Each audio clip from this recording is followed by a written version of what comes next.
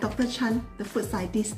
Today, let us explore the pasteurized eggs together.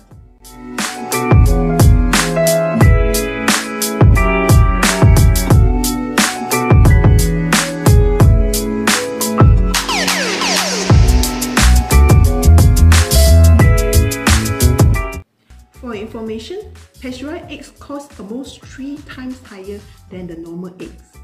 Pasteurized eggs are not the ordinary eggs. They are pasteurized at low temperature to remove the unseen harmful bacteria such as Salmonella that found on the eggshell right through to the yolk. In addition, a layer of mineral oil is applied on the eggshell to prevent the recontamination by the harmful bacteria.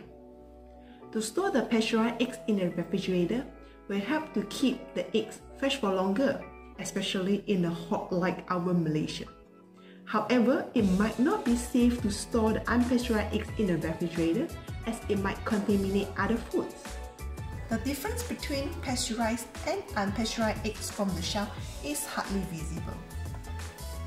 The pasteurized one is slightly cloudier compared to the unpasteurized eggs and the egg yolk and egg white from pasteurized eggs are firmer.